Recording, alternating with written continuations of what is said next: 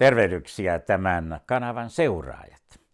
Tuossa oli mielenkiintoinen, kun Naton pääsihteerin tehtävästä nyt Stolpenberg on luopumassa.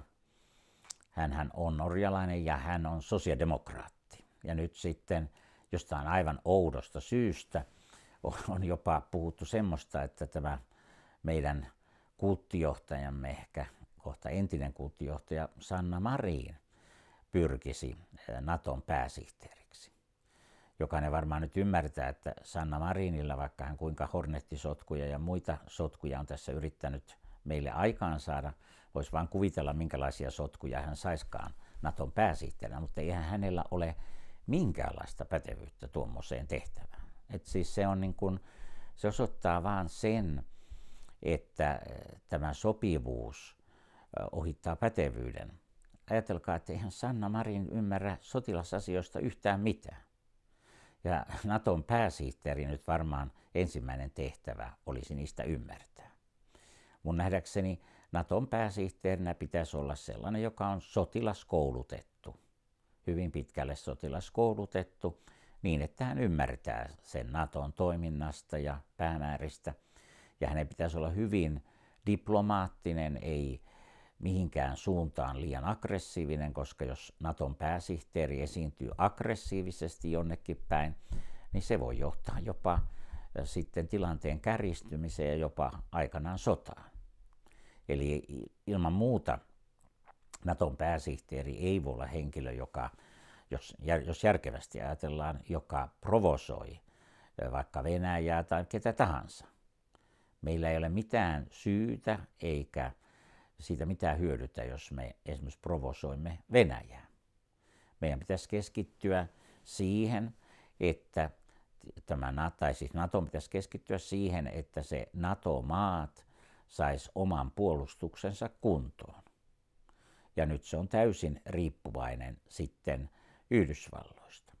Sitten toinen mielenkiintoinen tämä väistyvä Naton pääsihteeri sanoi, että hänen seuraajansa pitäisi olla sellainen, joka on, tulee hyvin toimeen Donald Trumpin kanssa. Eli toisin sanoen, totuushan on se, että Donald Trump on hyvin mahdollinen seuraava Yhdysvaltain presidentti. Hänen suosionsa on niin äh, vakuuttava tällä hetkellä ja se tuntuu vain kasvavan niin hänestä voi tulla siis hyvin todennäköisesti, että hän olisi seuraava Yhdysvaltain presidentti, ja kun koko NATO sitä johtaa Yhdysvallat, koko sen NATOn toiminta, ei sitä nyt pysty nämä NATO-maat muuttamaan toimintaansa niin rajusti tässä, että ne saisi sen uskottavan puolustuksen noin vaan kuntoon.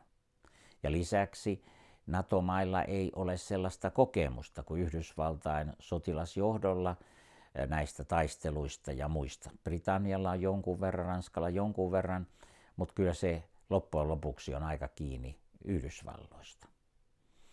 Ja on ihan muuta selvää, että jos Trumpista tulee presidentti, hän varmaan ei ole, hän on joitakin asioita muuttanut ja sanonut, että hän niin kuin katuu niitä ja niitä ei halua tehdä samalla lailla kuin aikaisemmin, mutta varmasti hän haluaa ainakin taata rauhan. Siis sehän on hänen se pääideansa, että, että Yhdysvallat ei koko ajan ole jossakin sodissa, vaan Yhdysvaltain asevoimat on niin vahvat, että ei tarvitse sotia, että niiden pelotevaikutus on sen verran suuri niin on aivan muu, muuta, muu, ilman muuta selvää, että jos Trumpista tulee seuraava presidentti, hän pyrkii tekemään näitä diilejä.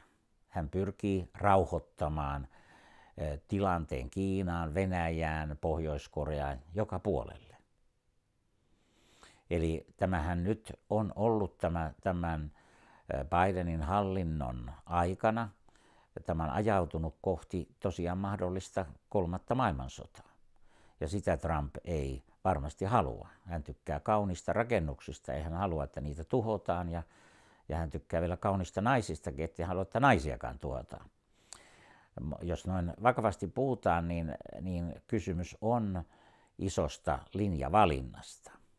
Ja näin ollen se, kyllä se on totta, että Naton pääsihteerin pitäisi olla sellainen, joka edustaa suurin piirtein samaa arvomaailmaa. En nyt puhu näistä Trumpin huonoista puolista, mutta niistä hyvistä puolista. Ja sellainen, joka niin kuin ymmärtää sen, että Yhdysvaltain kyky auttaa NATOa on rajallinen ja NATOn pitää itse satsata omaan puolustukseen, mutta myöskin NATOn pitää saada se ja ylipäänsä pitää saada neuvottelut käyntiin. Pitää tehdä diilejä. Ei pitää tehdä sotia, vaan diilejä. Ja diileissä ei ole kysymys siitä, että tehdään järjettömiä diilejä. Trumpihan ei ole ymmärtääkseni elämässä yleensä tehnyt mitään järjettömiä diilejä. Että hän ei varmasti tule pakottamaan Ukrainaa luovuttamaan koko aluettaan tai jotakin sellaista. Nyt tietysti oleellinen asia esimerkiksi Ukrainan kohdalla on, pystyykö, saako se tarpeeksi apuja, onko sillä tarpeeksi joukkoja, kykeneekö se sellaiseen vastahyökkäykseen, joka olisi uskottava, jolla alueita saisi myöskin haltuunsa. Ja vaikka nyt sitten Ilmari Käihkö ja monet muutkin vähän epäilleet, että Ukrainalla on sen verran tappioita – ja että saako se tarpeeksi sitten aseita ja asejärjestelmiä voidakseen uskottavasti hyökätä, koska hyökkääjällä pitää olla kolme viidenkertainen ylivoima. Tietysti nyt täällä on se kenraali Ukrainassa suunnittelemassa sitä vastahyökkäystä ja tähän mennessä ne hänen suunnitelmansa ovat olleet aika yllättäviä ja tehokkaita. Mutta nyt puhutaan siitä, että Venäjä on mahdollisimman tehokkaasti pyrkinyt linnoittautumaan sinne. Ja toisaalta siis eh, ilmeisesti Venäjäkin hakisi jonkinlaista hengähdystaukoa, koska sen aseteollisuuden käynnistäminen, ei se aina niin helppoa ole. Näyttää olevan, että siellä ollaan vähän aikataulusta jäljessä. Joka tapauksessa niin siinä on niin kuin monta asiaa. Siis se alun perin Yhdysvaltain ilmeisesti Bidenin sieltä Obamalta tuleva suunnitelma on ollut seuraava. Eli tämä Ukrainan tilanne eh, tehdään sellaiseksi, että Itä-Ukraina ja se Krimi saa olla Venäjän hallussa, Venäjän etupiirissä ja Länsi-Ukrainaan tulee sellainen hallitus, joka Venäjä ei koe uhkaksi. Ja sitten tällä tavalla se oli alun perin. Mutta kun Selenski siihen puuttui ja pystyi ilmeisesti kiristämään Bidenia, koska hän kutsui Bidenia tapaamaan oligarkia, joka näiden tietojemme mukaan on häntä lahjonut. Ja eikä Biden sitten tullutkaan siinä vaiheessa. Mutta hän suoraan oli edustajahuoneen kanssa ja myöskin jutteli senaattorien kanssa ja hän sai sitten tuen. Ja nyt sitten ilmeisesti Bidenin hallinnon uusi tuota, tulkinta tai tavoite on se, että saataisiin jonkinlainen tulitauko sinne.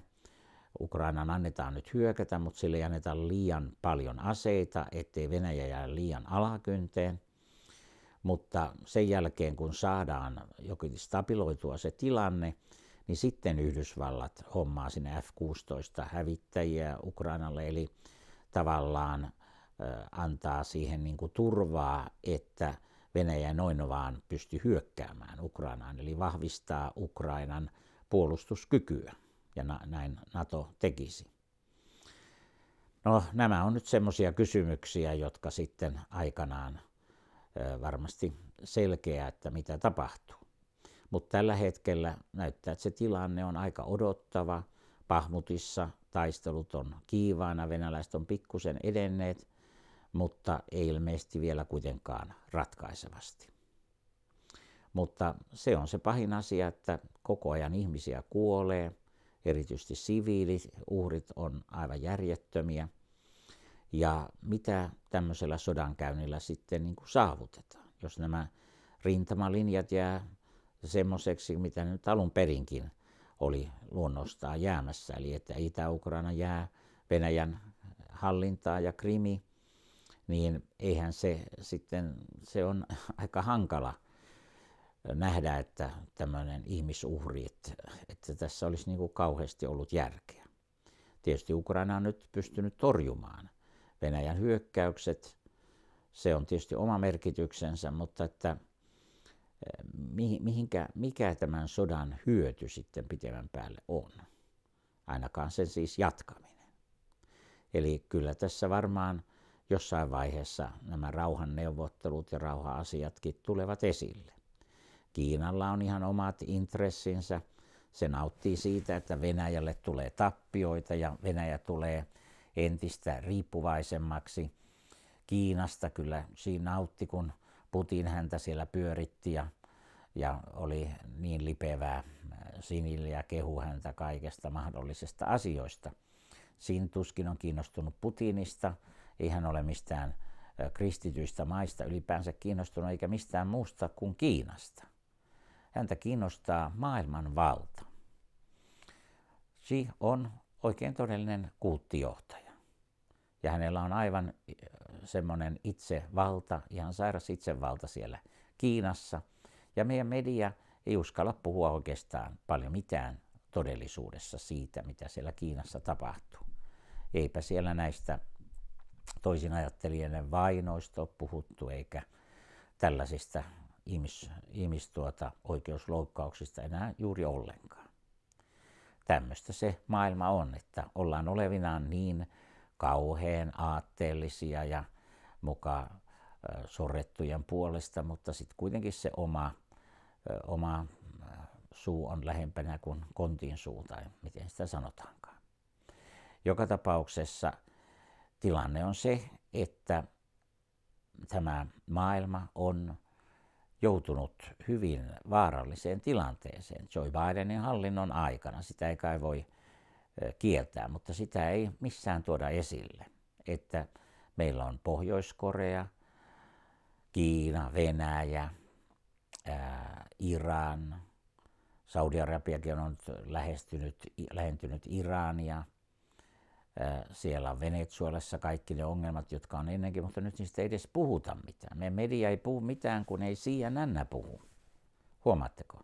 CNN sanelee sen, mitä Suomessa keskustellaan ulkomaista. Ja edelleenkin joku tämmöinen törkeä höpötys, että Suomi olisi maailman onnellisin maa. Siis tämmöinen keksitty juttu. Ensinnäkään, miten onnellisuutta mitataan. Ei sitä voi mitata rahassa, ei sitä voi mitata, onko koulutus ilmaista, ei se tee onnelliseksi vielä. Hyvin usein koulutus, joka maksaa ja sitten siinä tehdään kovasti töitä, tekee paljon onnellisemmaksi kuin koulutus, joka ei maksa mitään ja jossa ei innostutakaan tekemään kaikkeansa. Kun se, että joutuu johonkin uhraamaan jotakin jonkun eteen, niin se yleensä sillä on merkitystä. Silloin sitä osaa arvostaa. Tämmöisessä maailmassa me todella elämme. Jos haluat minun kanssa pohtia näitäkin asioita, niin älä epäröi, tilaa kanava, ei maksa mitään. Jos tykkäsit peukuta, minä peukutan teille. Tykkääminen, tilaaminen, peukuttaminen. Tärkein asia on, että tämäkin video leviäisi ja tosiaan miettisimme, mikä se Naton rooli on, mikä on Naton pääsihteerin rooli – ja miten sait ajat, ajettua rauhaa.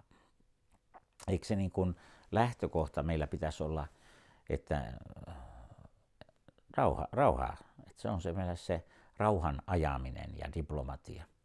Muistan, kun oma äitini nimi oli Rauha Hellin, niin hän kyllästyi siihen sitten, kun sodan aikana, kun hän oli Lotta, niin, niin sotamiehet sitten kirjoitti, että rauhaa rakastaen, rauhaa kunnioittaen, rauhaa palvoen ja kaikkea sellaista. Ja hän, hän tuota, ottikin siis sen Hellin nimen sitten varsinaiseksi nimeksi.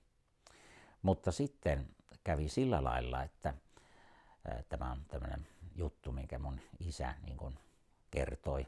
Pitää suhtautua vähän huumorilla tähän hommaan. Niin hän sanoi sitten, tuota, mun isä sitten, kun hän tapasi äidin ja he sitten piti mennä naimisiin ja silloin sotien jälkeen siinä oli semmoista aina välillä kiirettä ja oli kirkkoherroillakin kovat aikataulut ja niin poispäin. No nyt tuota niin, sattui semmoinen kirkkoherra, joka oli jo hyvin huonossa kunnossa ja hänellä oli paha olla ja näin poispäin. Ja hän oli väkisin joutunut siihen vihkihommaan eläkkeellä jo oleva henkilö. No hän ajatteli sitten, kun hän näki, että rauha hellin, niin hän ajatteli, että pääsi koko vihki seremoniasta paljon vähemmällä, niin hän sanoi sitten vaan mun isälle siinä häätilaisuudesta, rauha olkoon kanssasi. Ja niin heidät viittiin, no tämä on mun isän vitsi, mutta kuitenkin kyllä se on aika tärkeä tuo rauha. Se asia on se, että jos me emme ole rauhan asialla, niin millä asialla me sitten olemme? Parempi on tuota, laiha sopu kuin lihava riita.